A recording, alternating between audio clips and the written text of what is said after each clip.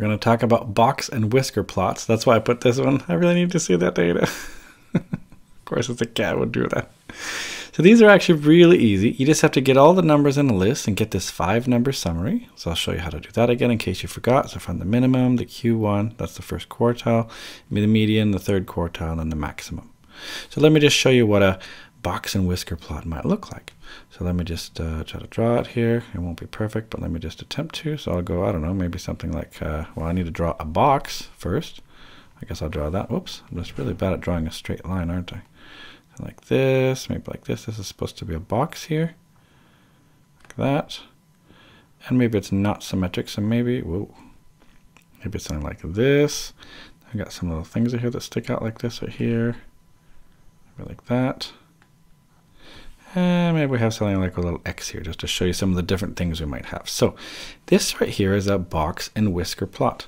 So this right here, I mean, you'll have some kind of X values. This will mean something. So maybe it's like, uh, I don't know, sizes or number of students or scores or whatever. There's some sort of thing we're measuring here. Now what this right here is going to be, this is your minimum value here. This is your minimum value. This right here is your um, Q1, so your first quartile. This one right here is your median. This one right here is your Q3. This right here is your maximum value. What's this little X thing right here? That's an outlier. So this right here, we draw them as X's. We call them outliers. Um, so these are your pro tips then for you, right? So this one right here, first one. Outliers are crosses. Yep. So what do I mean by this? Remember what outliers are outliers are valued as you know greater than maybe I'll write it like this just to remind you greater than uh, how does it go again 1.5 times IQR from Q1 or Q3. So I have another video showing you that, right? So this is our good old friend, the outliers. That's what those are. So those are crosses. We got the range. Well, the range is the maximum minus the minimum. So that'll be the, the range. So if someone asks you, hey, what's the range of this thing, then you know what they're talking about. Now symmetry is important because this one here is not symmetric, for example. By the way, you can see that this right here is the box, I suppose you could say. Right, that's the box, and here's, I guess, the whiskers. Right, here's a whisker here, and also here's a whisker there. So those are the whiskers. That's why it's a box and whisker plot. Um, Symmetry, however, so this is actually kind of neat. What if you have an example of a box and whisker plot where it's completely symmetric? So what if you have, I don't know, something goes like this maybe, like that, with this right in the middle, it goes right like this and right like this. This is if it's symmetric. So note, remember this one right here is the median.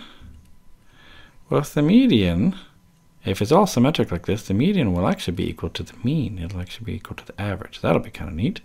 In fact, if it's symmetric like this, we can actually say it's normally distributed. So that'll be kind of a neat thing we can say at least. If it's symmetric, it's probably normally distributed. So that's that's one neat little conclusion we can make from these box and whisker plots.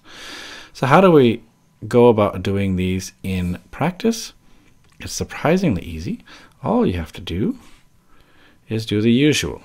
Get the numbers on the list and get the five number summary. So in case you've forgotten, here's how you do it. You put all into your calculator, depending on if you have the Nspire or the 84. You put the stuff into a list, you name your columns. Or this one here, you go stat, edit, and put it in L1. If you have frequencies, they're L2. Then you do the stats analysis. So in the TI Nspire, you press menu and go stats and do one variable statistics. Don't forget to use a frequency column if you needed to, at least for that one. Same for the 84. You go stat, you go right to calc, and you do one var stats. Again, use the frequency if you need to.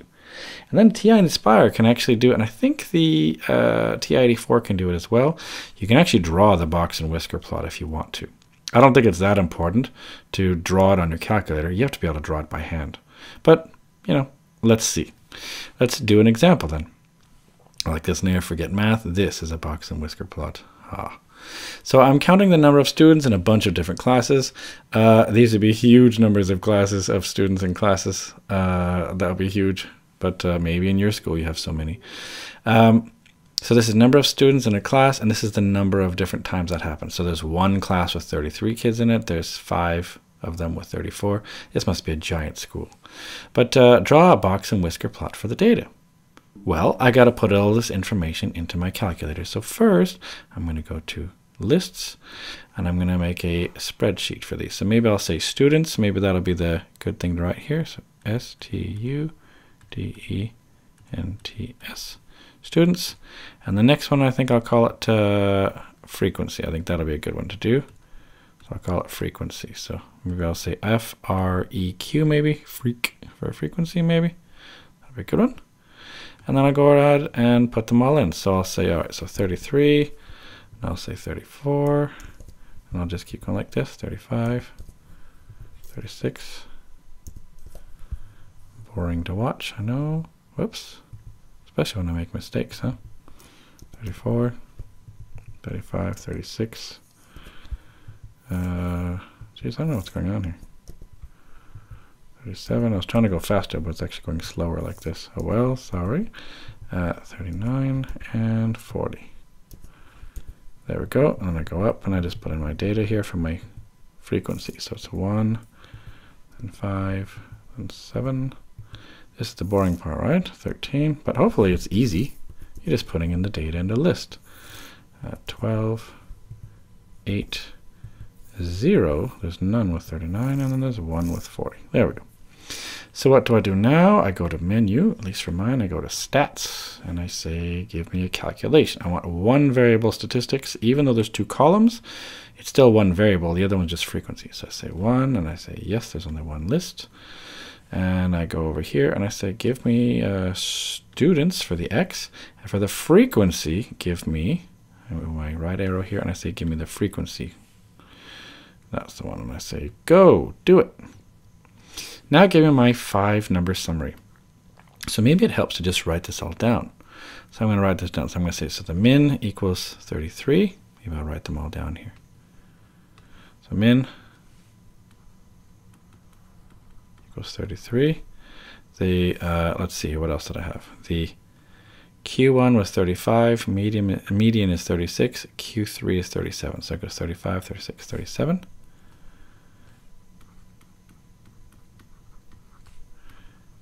Median 36, Q3 is 37, the max, well, should be 40. Just to make sure, right? You don't have to be so silly about it. We can also think about it critically and make sure it's 40. Let's see if it is. It should be. And just scroll down a little bit. There you go. And then, um, what else might I want to know? Maybe I want to know the standard deviation. I might want to know the mean. The mean is 36.3, let's just say. Approximately.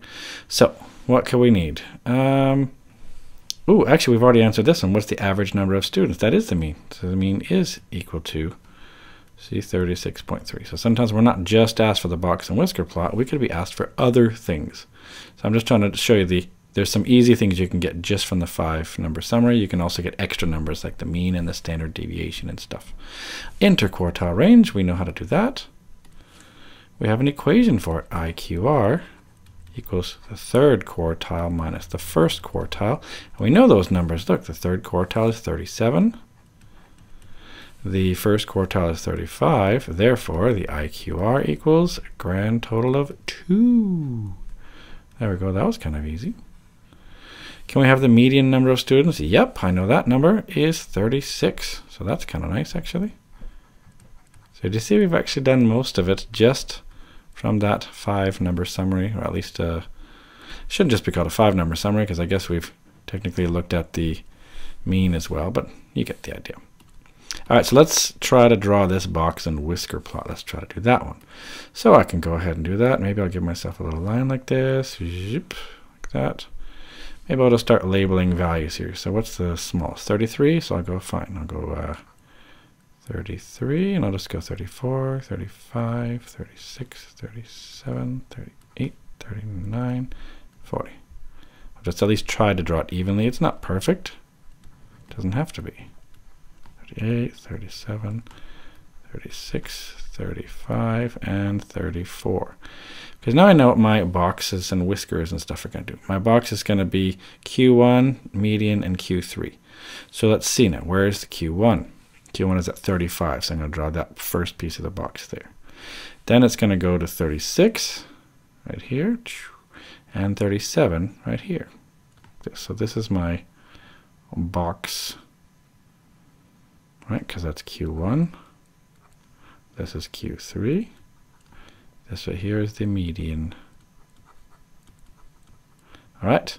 Then if I do this right here, I look at also the uh, maximum, which was 40. So this one goes all the way out, wee, like this, all the way out to 40. Whoops, that wasn't a very good straight line, but you get the idea, I hope.